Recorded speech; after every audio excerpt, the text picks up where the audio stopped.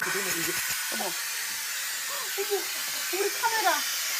우리 우리 카메라, 우리 카메라, 우리 카메라. 어, 손도 손 손님도 중요하죠. 그 카메라 아직 카메라 보호한다. 우리 카메라에서 손이 굉장히 뜨거웠을 텐데. 깜짝 야, 놀랐어. 아니, 이 카- 카메라 보호하면 어머니 이렇게 이렇게 렌즈를. 보여야 돼. 이렇게 이렇게 이렇게 뜨고 사셔야 돼. 아 이거 우리 카메라 이거 이거 JTBC 자산인데. 아, 이거 얼마나 뜨거운데 증기 배출을 저희가 들고 있는 건 처음인 것 같아요. 지금. 카메라를 보호해야 되니까. 아, 어머니 방송 사랑이 대단하시네요. 개코 씨 이거 저기다 놔주세요. 네, 네. 이걸 해서 네.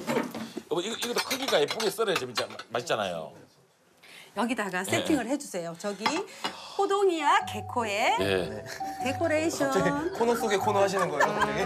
제가 너무 많이 요리 프로그램 같은 걸 갑자기. 네. 고등어 개코의 데코레이션. 네. 예. 어머니 크게 할까요? 이 정도 어떻습니까? 알아서 하시면 안 될까요? 계란말이 이렇게 돈가스처럼 자르시는 거 처음 봤어요. 그래가지고 어머니 그대- 그대로 하죠 그대로 이렇게. 이렇게 완성된 호동이와 개코의 데코레이션. 아 저희 집 냉장고를 부탁했는데 그 코너 속에 코너를 또. 냉부 냉부. 어젯밤에 싸놓은 김밥 그리고 계란 하나 하나면 충분하거든요. 만약 김밥이 많으시다면 좀 계란을 한 두 개나 세 개 하시면 되고요. 이렇게 굽도록 하겠습니다. 이동할게요.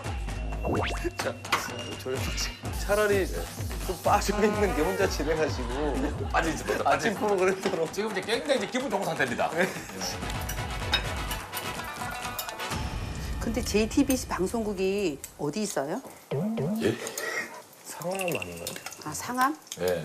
어머니 원래 제일 좋아하는 방송사는 솔직히 어디세요?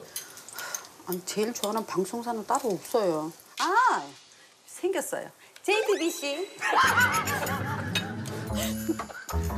제 아드님이 진짜 진심으로 약간 창피하고 계세요. 아니 그럼 어머니 이거는 이렇게 봐봐, 해주면 봐봐. 센스. 어머니 지금 몇 시예요? JTBC.